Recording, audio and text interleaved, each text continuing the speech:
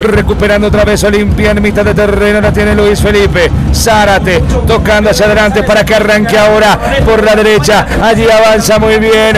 Olimpia era Hugo Fernández. Allí la tiene Richard, le pega. El arquero, pega así.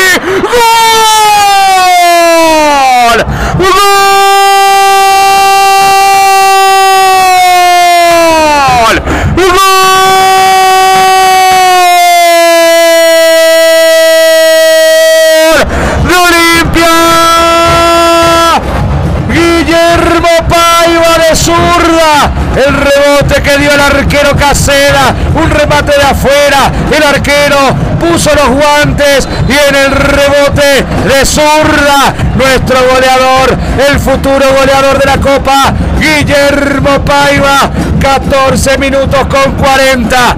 Olimpia se pone en ventaja.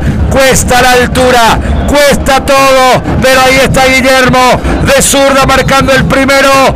Melgar 0, Olimpia 1, 14.55, 15 minutos del primer tiempo.